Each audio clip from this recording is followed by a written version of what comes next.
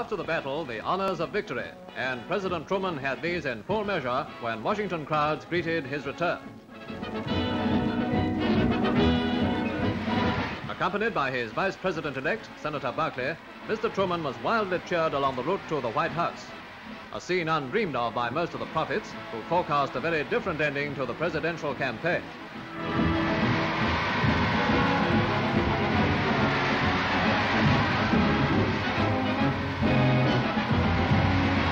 With his wife and daughter Margaret, the man who worked a political miracle is back in the home he now occupies for another four years.